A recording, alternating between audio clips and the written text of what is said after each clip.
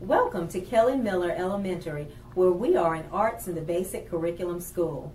Our vision is to inspire excellence in academics and the arts.